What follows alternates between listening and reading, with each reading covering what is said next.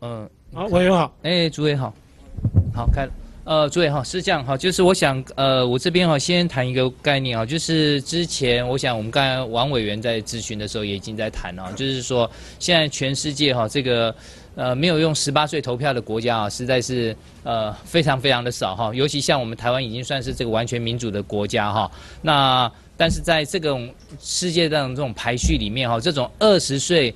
还不能投票的，其实也没几个了哈，就是台湾啊、新加坡啊、马来西亚、突尼西亚这几个，而且另外的也不要说了哈，因为新加坡、马来西亚他们也没有被归于说是我们比较属于这种完全民主这种国家哈。那其他那当然突尼西亚那更不要说了。好，那你等于说现在全世界只有这样子哈。那我想我我们这边可能诸位也很清楚，就是民众党早就已经提出这个一宪二法的这个修宪哈。那其实我刚才非常听到王委员的执行，我非常高兴哈，而且诸位也是觉得说，其实这是一个比较进步。的民主价值了哈，其实应该这样讲，就是说苏院长在接受那个总咨询的时候，其实他也觉得这也是好事哦。甚至我也报告一下啊，我还是再次强调，其实当时我们民众党进来的时候，为什么愿意去投这个尤院长为我们立法院的龙头哈？就是因为尤院长他也一开始他也就是说支持这件事哦，所以我们觉得这是一件好事啦。我觉得既然朝野都有这个共识哈，我们民众党并不是说我们要去收割什么，也不需要，我们就是做这个倡议，我们希望看到。就是说，大家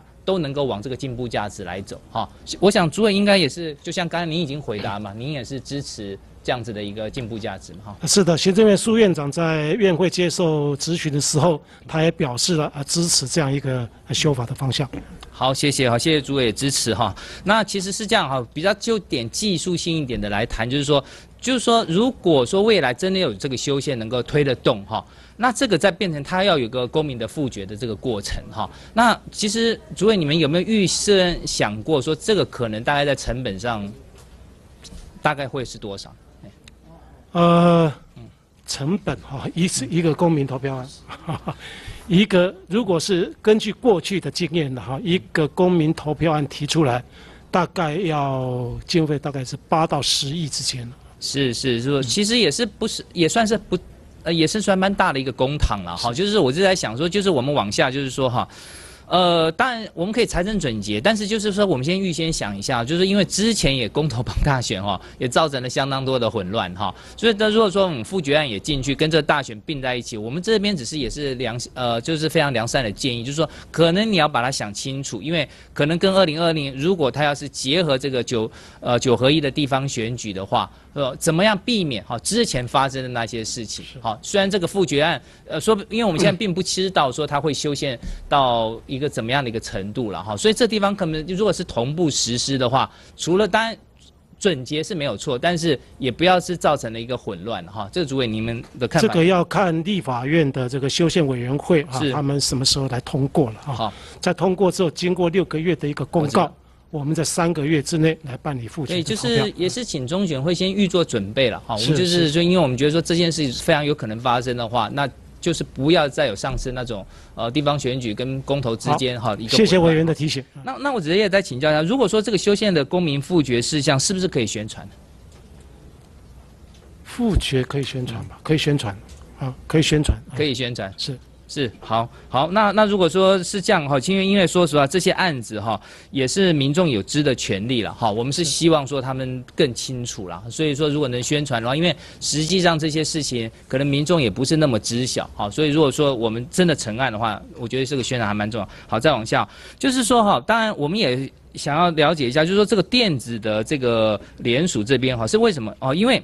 在之前哈，就去年我们这个公投法第三次修法的时候，我们就已经说公投公投跟这个大选脱钩嘛哈。那个时候其实也有一个概念，就是希望有个附带决议，就是说哈，希望要求中选会哈，对于这个所谓这个电子联署的这个资讯安全要进行测试，好，那甚至要落实电子联署。好，其实刚才好几位委员指的很多事情，其实就像我们这次就算罢免案好了哈，为什么搞得这么的复杂哈，或者被踢掉那么多？其实有时候老实说，台湾是科技岛，其实今天还真很不。科技哦，其实要是我们真的是电子联署这种的比较精进的话，其实还说不定不需要写字。所以我只是想请教主委，你们在这个公投的这种电子联署，现在到底因为上次就已经有决议了嘛？好，要做这事，你们目前进度是什么？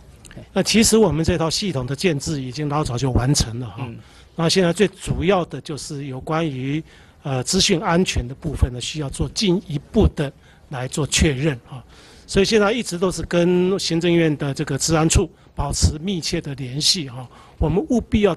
呃达到一个最高的资讯安全的一个这这如果有有时间时间上，您您觉得要多快呢？有没有有没有？因为其实现在说啊，我们最近最近跟治安处这边也有密切的在联系了哈。呃，能能治安处这边还提出了一些这个要求，啊，是是啊哪些是我们马上可以做的啊？我们这样好不好？希望在主委，你们就进度上再给我们这边办公室一下参考一下，好不好？呃，现在老实说哈，这个资讯安全的要求的部分，我比较不容易去掌握，是所以我不敢跟委员报告说什么时间。我只是说，只要这一个关卡过了，那我们随时我知道，都可以上线。当然当然这也是最核心的了哈，是不是？是就是说你们这个进度上，我觉得说还是跟跟我们定期的，就是说明一下嘛。好的，好的，好吧。那另外哈，就是因为这件事哈，就是直接也也衍生，其实我们现在快那个 EID 就要出来了哈。是其实我是觉得说要有一个更直接的联系啦，就是说你们跟这 EID 的这个设计，其实我们现在竟然号称数位政府了哈，尤其台湾这一件事一直觉得很领先，其实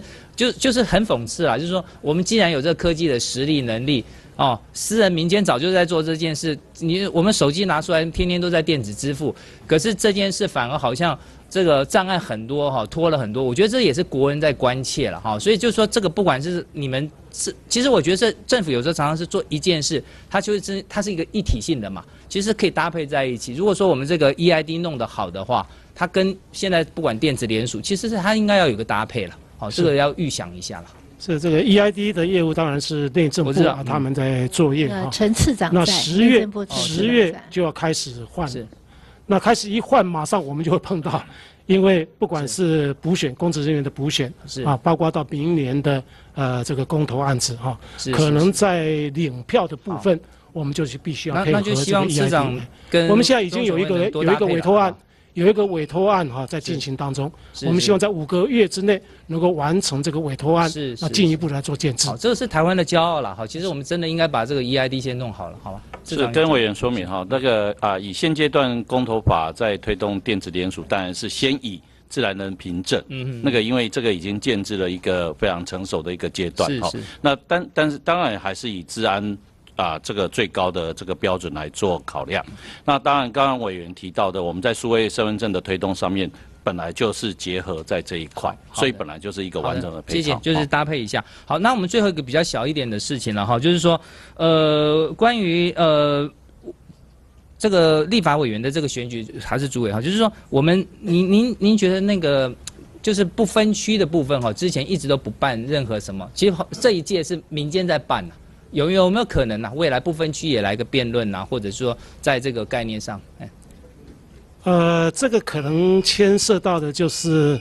有限的这些资源哦，如何能够让政党来公平的分配啊？是呃，在我们选务搭配的部分是没有问题，但是要怎么样做公平的分配，恐怕各政党之间要做进一步的来讨论。而而且其实现在哈，应该是这样讲，就是说，其实我们很多我我自己来自比较小的党哈，这个其实有时候小党有时候就靠一些这种比较这样的公平的竞争的舞台啦。哦，那今天如果说对于不分区这这个是好像别别人都有公办的证监会，只有不分区没有，大家也不现在我们是提供政党广告了啊对，政党宣传、政党广告。所以我觉得我们是应该要，其实我们这边有这个选举研究的这个期刊哈，他们也做研究。其实国人根本不太清楚这些不分区的状况，其实这也并不是好事哈。就是我们真的是也也借着这个公共的这个平台，让不分区哦能够多一点哈。好，那最后一个哈，那这个地方就是我们还是呼吁了哈，就是未来对于不分区要公办的这个证件发表会要有了哈。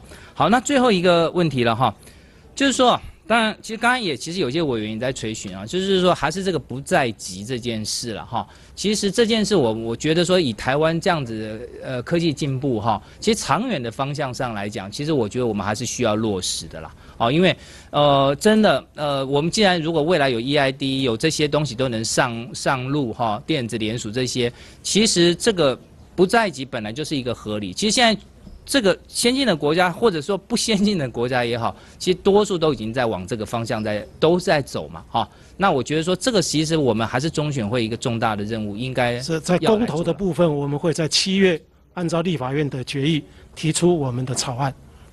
好那其实啊我想既然公投就可以哈其实我觉得其他的大的选举哈其实若有公投的经验我们其实也可以用这个来往前来迈进了哈。其实这不在一起还是一个进步的一个概念。好，谢谢诸位。好，谢谢委员。